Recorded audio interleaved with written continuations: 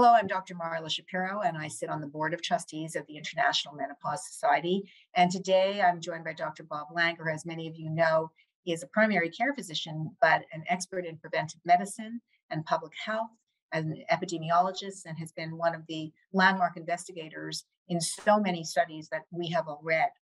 Today, what I'd like to do is focus on the concept of prevention of chronic diseases in women and the role of menopausal hormone therapy. So, you know, we have a, a lot of um, recommendations that come out across the world. In the United States, the Preventive Service Task Force is one of the groups that looks at uh, medication and says that menopausal hormone therapy should not be used for primary prevention of chronic diseases. Yet we all want to age well. So, where do you stand on that sort of blanket statement that menopausal hormone therapy is not useful when we think about aging well and chronic disease prevention. I think that that recommendation is horribly damaging to women's health across the world. And influential groups like the US Preventive Services Task Force um, uh, continue to promote misinformation that I think is unfortunately um, taken as evidence based by clinicians, uh, uh, particularly primary care doctors, um, uh, who are then concerned and uh, uh, even don't consider menopausal hormone therapy uh, as a potential intervention for their menopausal women, even though the women may be complaining of vasomotor and other symptoms for which menopausal hormone therapy could be beneficial. So we look and, at, at some of the, the guidelines that have come out from the International Menopause Society, from the North American Menopause Society, from the Endocrine Society, all around the world, um, there's a strong endorsement for the use of menopausal hormone therapy in an appropriate window of, of opportunity. But none of them would endorse the use of menopausal hormone therapy for ischemic heart disease or stroke. So in younger women, why do you feel that perhaps that statement is erroneous? Well, I, I disagree with the way that you just stated that. Actually, in the most recent recommendations from the International Menopause Society that uh, I helped author, uh, we did say that uh, for women below the age of 60, typically women 50 to 59, uh, menopausal hormone therapy uh, could be appropriate for the prevention of coronary right. heart disease. But it lacks that endorsement as a primary preventive strategy, the way you would, for example, look at lipid medication. It's slow to catch on. Well, you know, it's interesting that you say look at lipid medication because, in fact, if you look at the evidence base for primary prevention, there. for primary prevention of ischemic heart disease, there is a major gender disparity and yes. there is no support for prevention in women. In fact, on the other hand, there is strong support for prevention in younger women with menopausal hormone therapy. On top of that, statins that are often prescribed by primary care docs for supposed primary prevention in women have other adverse effects, particularly in women, like they yes. increase the risk of diabetes, right. which MHT reduces.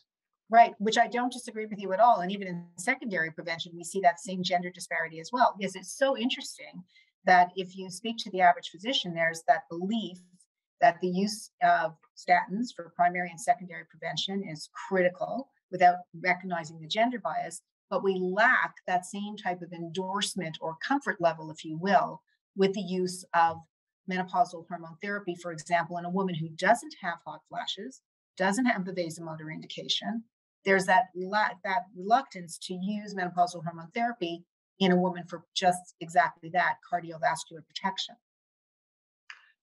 I agree. Uh, there, in my experience in the United States, for example, there's even reluctance on the part of primary care physicians to prescribe MHT for vasomotor symptoms and other troublesome problems uh, in the menopausal transition. So I, I, I think that's an awful um, lack of understanding of the overall scheme of benefits and risks for MHT that we need to continue to do everything we can to correct. So not only does MHT clearly take care of menopausal symptoms.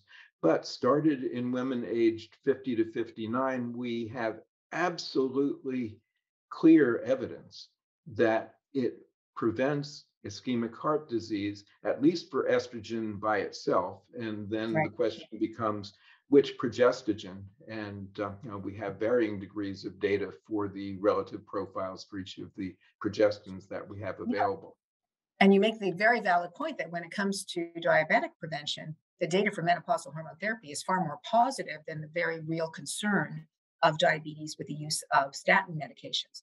So let's look at rather than sort of what our beliefs are and how they're perpetuated, whether correctly or erroneously by a variety of organizations, how does menopausal hormone therapy compare to some of the other strategies for preventing major chronic diseases in menopausal women that primary care, other doctors seem to be far more open to embrace?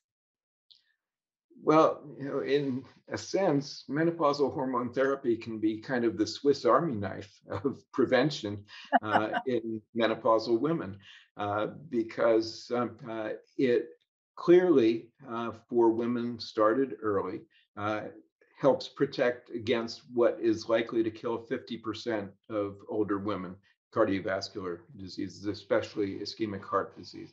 Uh, I hasten to add that the data aren't quite as clear for stroke, um, more towards a null effect in, in most mm-hmm. of the uh, studies that have been looked at, and that really needs further exploration. Uh, but um, uh, when we consider some of the other major diseases that are also important for older women, uh, diabetes, uh, again, uh, if anything, a protective effect. And we know that diabetes contributes to lots of other diseases that we want to prevent. Uh, in addition, there's actually some uh, quite provocative data suggesting that menopausal hormone therapy uh, helps to maintain hearing uh, over time, helps to prevent falls. These are other uh, major important diseases worldwide. Osteoporosis.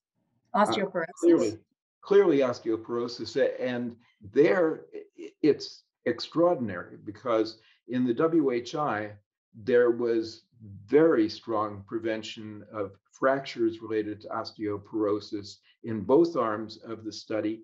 And WHI is the only clinical trial that's ever been done looking specifically at osteoporosis that did not pre select women for osteopenia. So this is in average women.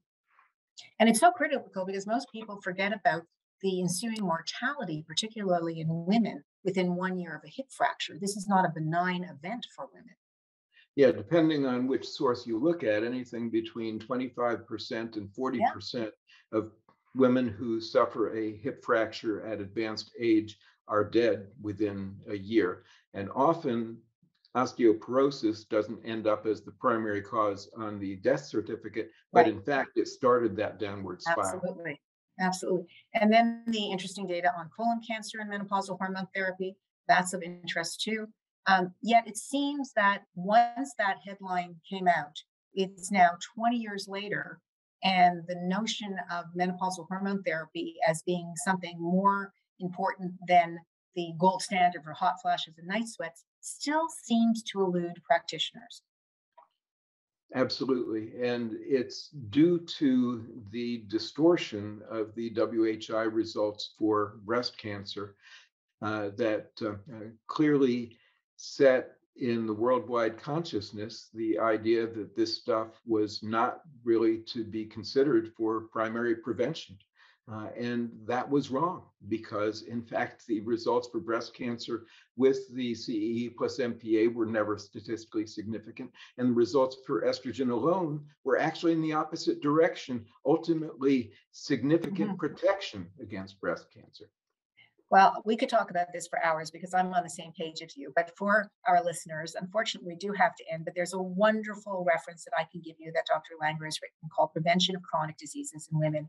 Where does menopausal hormone therapy fit in? And I would really encourage you to take a look at it. Thank you so much for joining us today.